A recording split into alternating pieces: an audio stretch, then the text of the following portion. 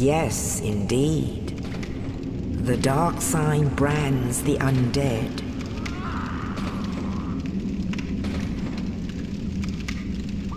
And in this land, the undead are corralled and led to the north.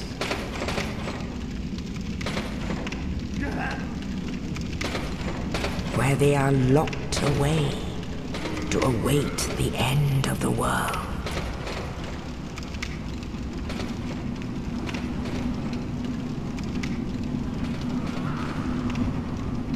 This is your fate.